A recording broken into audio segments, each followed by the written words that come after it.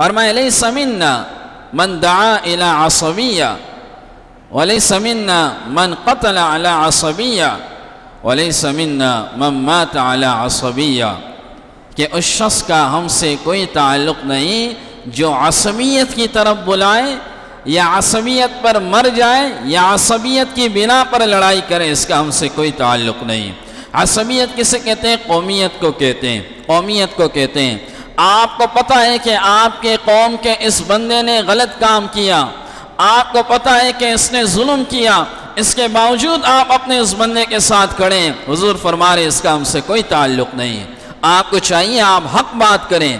آپ کو چاہیے آپ اپنی زبان سے اس مظلوم کا ساتھ دیں۔ ظالم کا ساتھ نہ دیں، اگرچہ وہ آپ کے گھر کے اندر ہی کیوں نہ ہو۔ اگرچہ وہ آپ کی قوم کے اندر ہی کیوں نہ ہو۔ آپ اس کا ساتھ نہ دیں۔ آج آپ دیکھیں آج اگر کہیں پر کوئی ایسا مسئلہ ہوتا ہے تو ساری قوم اپنے اس قوم کے بندے کی طرف کھڑی ہو جاتی ہے جمع ہو جاتی ہے اور باوجود یہ کہ وہ غلط ہوتا ہے، لیکن اپنے اس بندے کا ساتھ دیتی ہے اپنے اس بندے کے ساتھ کھڑی ہوتی ہے۔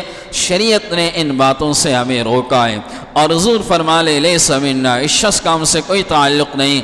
اللہ کے نزدیک جو پسندیدہ آدمی ہے ان اکرمکم عند اللہ اتقاکم اللہ کو سب سے زیادہ پسندیدہ آدمی تقوی والا لگتا ہے۔ یہ عصمیت کیا چیز ہوتی ہے؟ یہ عصمیت کیا بلا ہے؟ اللہ کو سب سے زیادہ پسندیدہ آدمی وہ لگتا ہے کہ جس کے دل کے اندر اللہ کا خوف ہو، جو اللہ سے ڈرنے والا ہو، جو اللہ کے سامنے کھڑا ہونے سے جس کے دل میں خوف آئے۔ یہ یہ آدمی اللہ کو پسند ہے۔ تو عصبیت کی بنا پر اپنی قوم کا ساتھ دینا، یہ بھی حضور فرما رہے اس کا ہم سے کوئی تعلق نہیں۔